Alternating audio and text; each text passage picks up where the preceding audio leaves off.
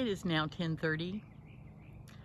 It's been an hour and a half, a little more than that since I made my first video. What a difference. Oh my God. Just thought I'd share. There's the sun. And this is looking towards Palm Springs. See the big X? This is turning around towards Big Bear. What a difference. Oh my God. Look at that mess.